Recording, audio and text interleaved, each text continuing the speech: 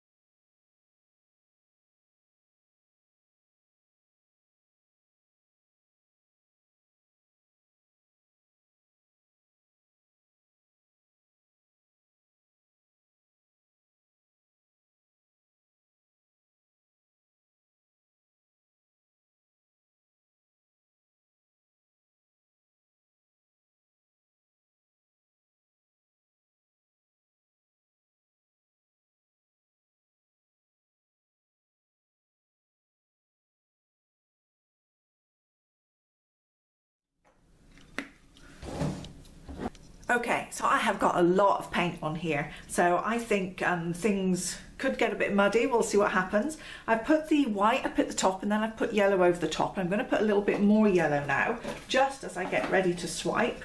And then hopefully the, um, the, the yellow that I used to swipe won't give quite that same um, shadowing that I get when I usually swipe with a transparent colour. So let's give it a go and see what happens. I've got my little um, paint chip cards just here that I get from the DIY store and I'm going to try and gently swipe this yellow paint without hopefully um, disturbing too much of the white underneath because I only ideally want the yellow to be my swipe colour. So let's see how I get on with that.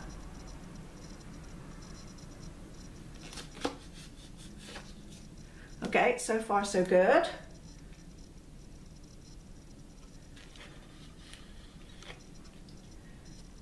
Okay.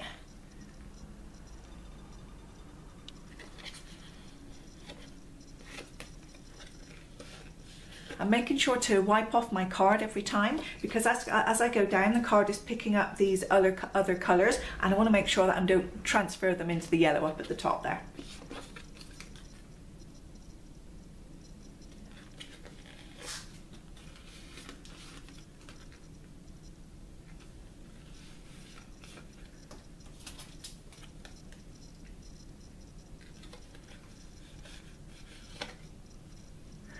Okay, so I think I've got most of my swiping done and let's take a look. There's a few little bits of white poking through up at the top through the yellow, but actually I don't mind that. I think it looks pretty good. And with the colours, well, I'm not sure if it looks like a sunset or not, but I actually think the colours look really good together and I'm really liking this. And I've gone back today to using my smaller paint chip cards. In a previous video recently, I did an entire swipe using a, a damp paper towel and got like a continuous swipe in one piece. But with this one, with the smaller cards, I've got these little, um, just the little breaks between the swipes and I actually like that. I think it gives it a little bit more variety. So I think this is pretty good. Now there's a lot of paint on here, so I'm going to just give this um, a blast over with my torch and get rid of any air bubbles that might be in there.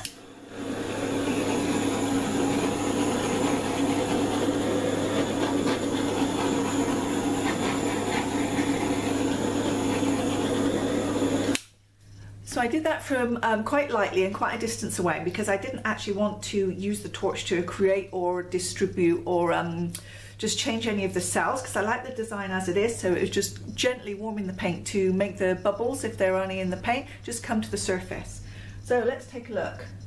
I've got a lot of spill around the side, which is fine. I'm gonna, there's the, the colors, because it's a swipe, they've all been put on um, kind of separately. And so the paints around the side, I think are gonna look really great for using with the dip. So I won't let any of that go to waste. But I think I'm happy with it as it is. Now I could tilt at this point and stretch out these cells. But I think the veining um, from the yellow in the colors and things here, I really don't want to disturb and waste that. Um, if I tipped it a little bit more, we could end up with the pink coming off the edge too, and I think I'm happy with it as it is. So as much as sometimes I like to over fiddle with things, don't we all? I think I need to just step back, step away from the painting and call this one a day. So let me bring you down and show you some of the lovely details that we got. I think I'm going to be able to get some really great macro photos from this one. So wow, this is a stunner. I love these colours together. So I'm really um, holding my breath for when this dries because obviously with the, the yellow up at the top here, I know it's going to go really transparent. Also already got some darker colours coming through here uh, but I hope by putting the white underneath that yellow that when the uh, the swipe dries hopefully I won't get too much shadowing I'll just get some really nice colours but we will see if that worked so down here, I've got some really glorious pieces on this uh, painting. Absolutely love the way those colours have mixed together. And the uh, the yellow made some really beautiful veining. The I think the bottom half of the painting is my favourite, where the yellow has made these kind of like electric, kind of almost lightning-like lines through all the other colours. And because it was quite heavy on the paint too, um, I've got a lot of it running over the sides that you see here and creating these kind of beautiful stripes that are going over the side of the painting. Also down at the bottom I've got some really nice designs coming off the edge there too. So I think this one is pretty darned nice. I'm very, very happy with it. So I'm going to, um, uh, there's not going to be any time to show you the dried version of this because I think it's going to take a while. And obviously what I like to do is to dry them, then leave them a month varnish and show you what it looks like but I'm so behind on my videos at the moment that I haven't really got time to do that because I need to get the get this one up online for you shortly so I'm just going to leave you with some um, views of this one wet and then in a roundup video I'll come and do something a little bit later on and show you what all of these look like when they're dry. Meantime thank you very much for watching and I hope to see you over at acrylicpouring.com very soon.